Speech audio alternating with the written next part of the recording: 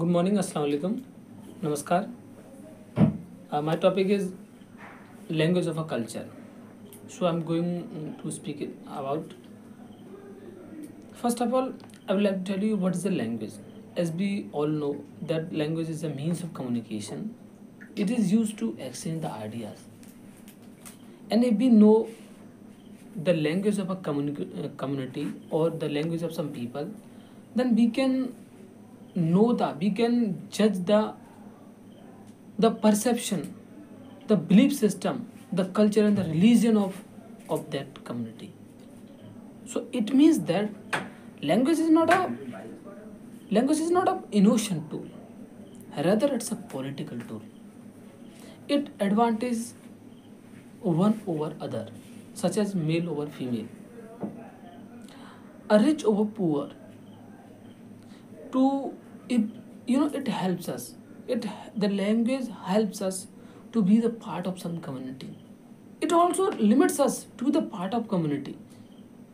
It reflects our uh, belief system culture all everything us everything that we are having.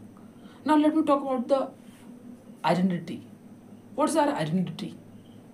So identity is the part of personality and what's the personality personality is a part is a personal identity of a person.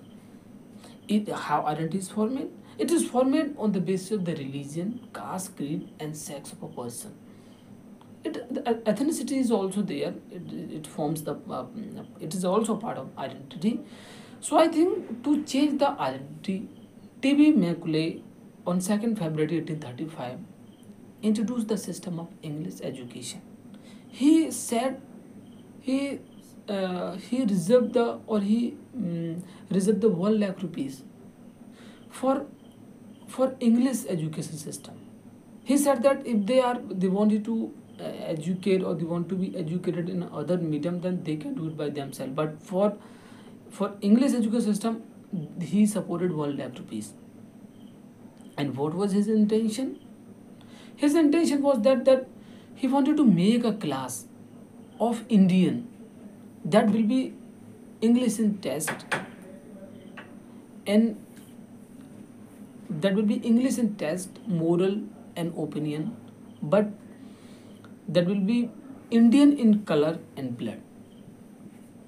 And so be, be all of, of all of us become like that. Our test is of we are having English test. Now let me talk about uh, another prominent writer. He's from Nigeria, from South Africa continent.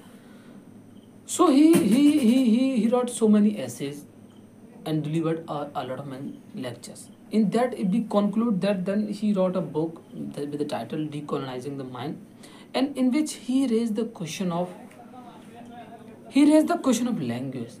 He says that Nigeria has worked has its own culture.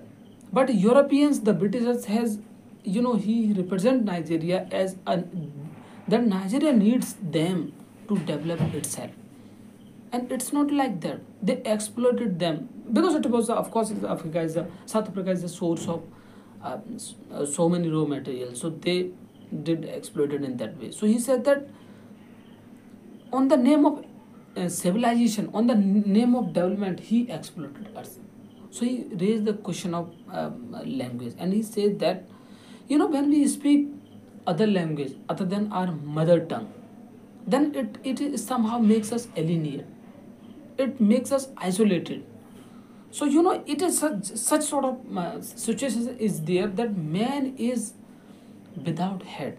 And when is without man is without head then the society is without without men it's the society becomes you know headless society now let me uh, also quote um, uh, uh, let me also introduce another novel.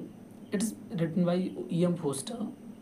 And that's uh, the title is the uh, a passage to england. So i would like to there are so many prominent characters out there of course but i would like to introduce two character one is dr aziz and uh, another is mr Ronny now when i talk about this character mr uh, dr aziz he is a prominent and well uh, skilled doctor who who he who's you know skilled than many European doctor. And because of this skill, uh, Mr. Ronny is somehow jealous, is felt very jealous at him. So when he, you know, his his mother called him because his fiance was also there, and they called him to attend the meeting. And uh, the meeting was something like that, you know, to meet the, to join the, to connect the west and east. Such as a, there is an essay in which it is said that east is east and west is west, and never shall twin meet. They, it's impossible to meet them, to bring them closer. In that in that meeting, Mr. Ronny, who's a city magistrate, who's described as a city magistrate, criticized this this mm, Dr. Aziz. And Dr. Aziz himself says that that when I when I when when, when I'm putting English dress, the policemen don't restrict me. They don't ask me question. And when I'm in Indian dress, they ask so many questions. So it is just it is just a part of test. It is just part of perception or individual perception.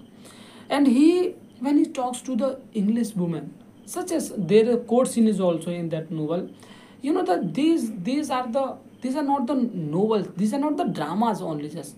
Literature is what it is representing human experiences. So there is when when he talks to the English women, he could not differentiate between, he could not di- discriminate between a man and a woman. He talks to the woman in the same way as he is talking to a man. So he says that he thinks that that he is very confused. Sometimes he thinks that he is Indian, and sometimes other time other time he is think that he is a British, Britishers. And same problem is with with the Indian who are who are settled in mm, abroad. Such as their letter, literature is also written um, over them. That's called marginal literature and diaspora identity. So all about is that that when we read the works of Rabindranath Tagore, R.K. Narayan, and um, the Raja Rao's novels also, in Kanthapura novels also, and if we read the read the a forward to Kanthapura, in which uh, Raja Rao strictly mentioned that we are part of globalized world, but we are no longer we are no longer only Indian. We write in English. Although we say that English is an alien language, English is no longer alien language. It has become a part of our our our, our civilization as part, part of become our own personality. Of course, I know that language culture is also a, a dynamic, as the Homi Bhabha also says in his one of his essay that uh, culture is also dynamic. So all all that I want to say is that we should adapt some you know some own cultural way some own uh, country's way. That should be a part of our own accent also. Then to we should try to preserve our culture by using the uh, uh, lingua franca that's english. We should adapt their language but to develop ourselves so thank you